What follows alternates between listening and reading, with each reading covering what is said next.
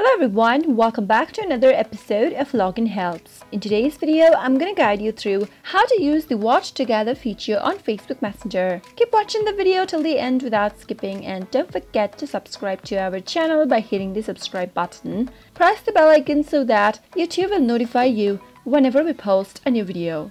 To use the Watch Together feature on Facebook Messenger, go tap open your Facebook Messenger application and if necessary, sign into your account. Once you're signed into your account and you're in your chat screen, go and select one of your contacts with whom you'd like to use the Watch Together feature with. Once you're in the conversation screen with the particular contact, go and tap on the video icon at the top of the screen. Once you do that, you'll be able to make a video call. In order to watch together, you'll need to first start a video call or you can create a messenger room.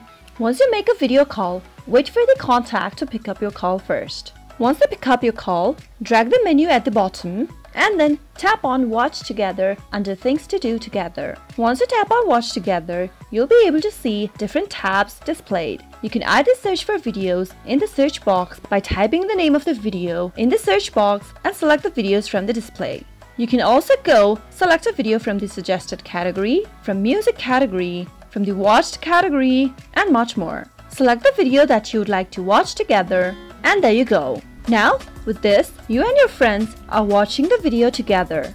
That is how it is done. In order to cancel the video, tap on the cross button at the upper right, and to end the call, tap on the red button, and that is it. That is how you can easily use the Watch Together feature on Facebook Messenger. I hope you found the video to be helpful. If you did, go ahead and give it a thumbs up Feel free to comment down in the comment box if you have a question or a feedback for us. I'll be back soon with more tutorial episodes again. Thank you for watching.